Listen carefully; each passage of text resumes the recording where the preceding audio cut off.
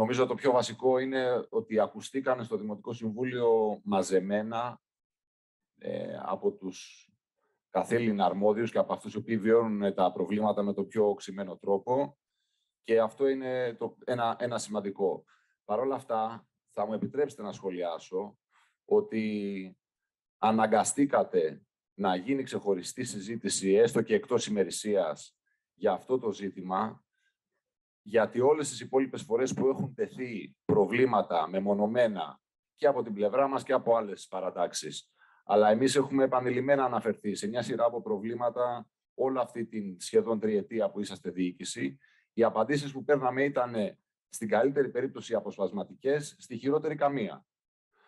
Τουλάχιστον σήμερα που αναδεικνύεται πιο συνολικά το θέμα ειδικά σχολεία και κατάστασή τους και μάλιστα με τον τίτλο που δίνει και η ανακοίνωση της σημερινής κινητοποίησης που σας βάζει στη διαδικασία να γίνει αυτή η συζήτηση, ότι δηλαδή η Αθήνα είναι η πρωτεύουσα της χώρας που έχει τα λιγότερα ειδικά σχολεία, τα πιο επικίνδυνα και ακατάλληλα κτίρια για παιδιά με αναπηρίες.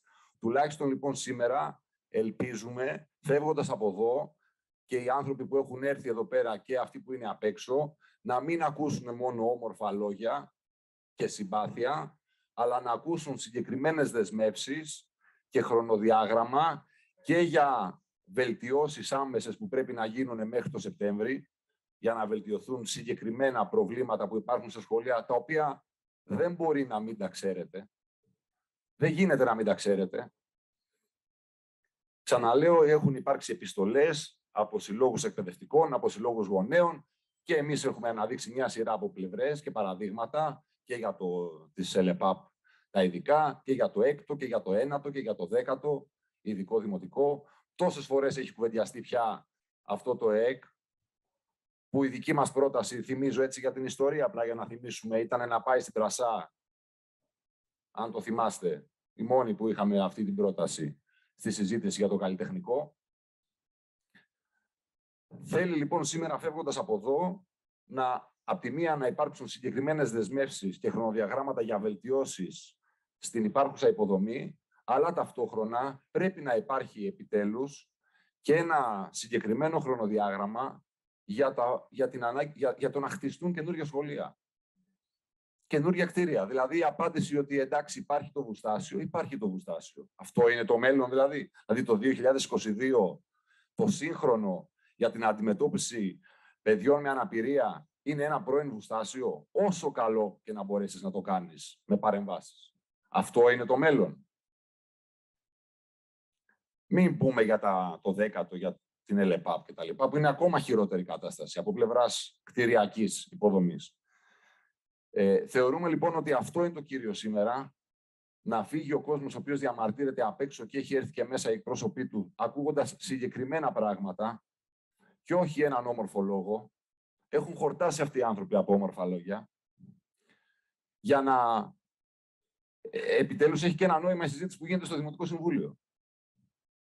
Γιατί δεν μπορούμε να πετάμε διάρκεια την μπάλα στην εξέδρα, να είμαστε γρήγοροι και αποτελεσματικοί σε συγκεκριμένα πράγματα και να αφήνουμε γενικά εκτός συζήτησης και κυρίως εκτός δράσης και έργων οξυμένα προβλήματα που αντιμετωπίζουν σήμερα οι κάτοικοι στην Αθήνα. Και αυτό αφορά υπόθηκε κιόλας και από έναν από τους εκπροσώπους των φορέων, ε, τη συνολικότερη αντιμετώπιση που έχουν τα δικαιώματα των ατόμων με αναπηρία στη χώρα μας και αυτό αποδεικνύεται από μια σειρά πράγματα.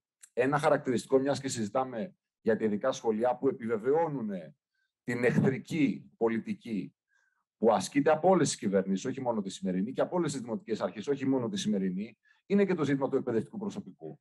Δηλαδή τη, τη φετινή, τη χρονιά, τη σχολική που τελειώνει, οι προσλήψεις προς ειδικού προσωπικού ήταν 1.500 λιγότερες από πέρσι. Και δεν βάζουμε εδώ με βάση τις πραγματικές ανάγκες, το 7.000 δηλαδή που ακούστηκε, σαν παιδιά στο Δήμο της Αθήνας που έχουν ανάγκη για δημόσιες δομές, τις υπάρχουσες δομές λέμε, άρα τις περιορισμένες. Αυτό είναι μια πολύ ξεκάθαρη, και δεν αφορά προφανώς μία κυβέρνηση αυτό το πράγμα, αφορά όλες τις κυβερνήσεις όλων των προηγούμενων χρόνων.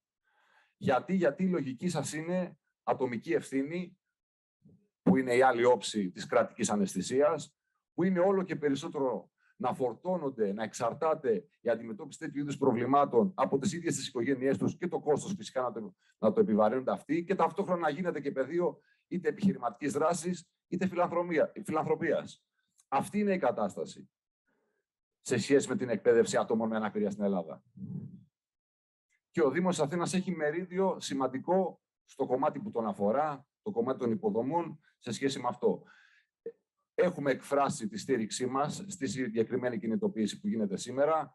Στις 18 του Ιούνιου είναι και η, μια πανελλαδική μέρα δράσης για τα δικαιώματα των ατόμων με αναπηρία, που επίσης εκφράζουμε τη στήριξή μας στις πρωτοβουλίες που θα υπάρξουν από το προηγούμενο διάστημα και θέλουμε να πιστεύουμε ότι με αφορμή τη σημερινή συζήτηση θα υπάρξουν απαντήσεις που θα οδηγήσουν έστω και σε ορισμένες άμεσες λύσεις που δεν θα μας ξανααναγκάσουν το Σεπτέμβριο και τον Οκτώβριο να επανέλθουμε.